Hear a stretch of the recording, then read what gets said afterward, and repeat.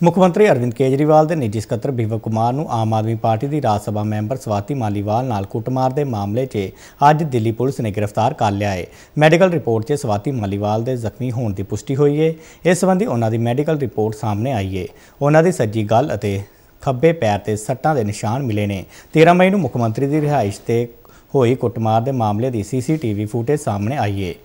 ਦਿੱਲੀ ਦੀ 30 ਹਜ਼ਾਰੀ ਅਦਾਲਤ ਨੇ ਵਿਵਵ ਕੁਮਾਰ ਦੇ ਅਗਾਊਂ ਜ਼ਮਾਨਤ ਸੰਬੰਧੀ ਪਟੀਸ਼ਨ ਖਾਰਜ ਕਰ ਦਿੱਤੀ ਹੈ ਇਸ ਲਈ ਅਗਾਊਂ ਜ਼ਮਾਨਤ ਨਹੀਂ ਦਿੱਤੀ ਜਾ ਸਕਦੀ। ਉਂਝ ਅਦਾਲਤ ਨੇ ਵਿਵਵ ਕੁਮਾਰ ਦੀ ਅੰਤਰਿਮ ਜ਼ਮਾਨਤ ਤੇ ਫੈਸਲਾ ਸੁਰੱਖਿਅਤ ਰੱਖਿਆ ਹੈ